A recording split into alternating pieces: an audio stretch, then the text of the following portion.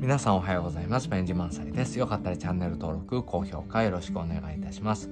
今日は3年生常用漢字の句ですね。説明をしていきます。まず今日の字の特徴としては少し縦長の字になります。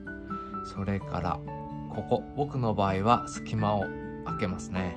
これは好みでくっつけてください。で多分僕の場合国構えから来てると思いますが微妙にふっくら右上がりになります。ですかね。これも好みで直線右上がりに変えてくださいね。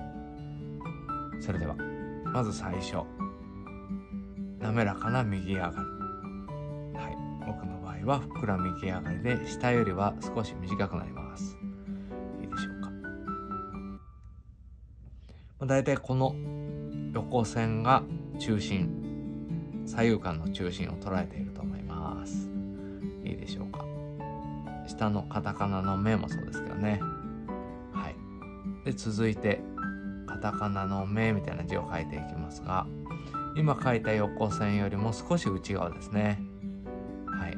このスペース離れてる距離も近すぎず遠すぎずで書いてくださいね。斜めに押さえてからのの字。は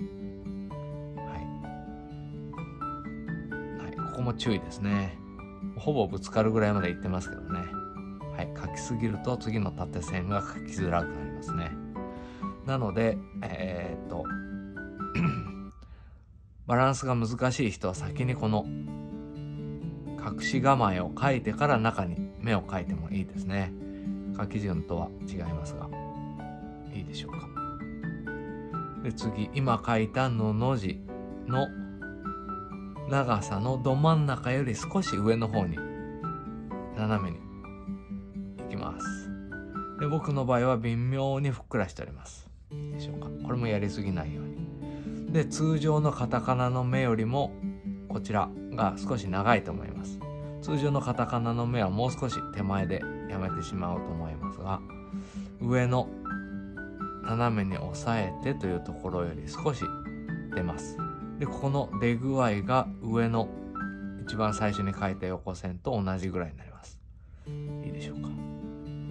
でここの位置が下のさっき書いたのの字の終わりの足の位置よりも微妙に高いぐらいですね。ほとんど一緒ですけどね。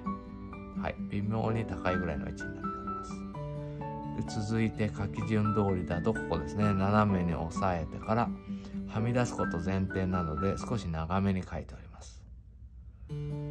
で最後はこれは絶対ふっくらさせた方がいいですね。ふっくら。あまり右上がりもさせずに。